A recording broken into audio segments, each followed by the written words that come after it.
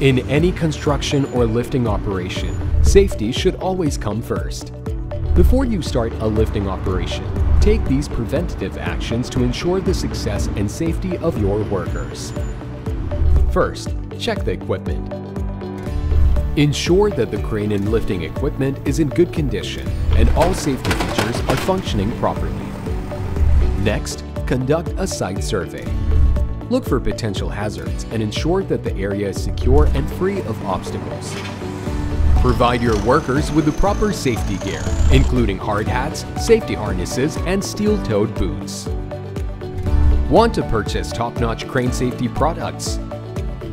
Crane Warning Systems Atlanta delivers various crane safety products including load limit indicators, load moment indicators, crane visibility devices, rated capacity indicators, and much more. Contact our representatives for more details about our crane safety devices and systems.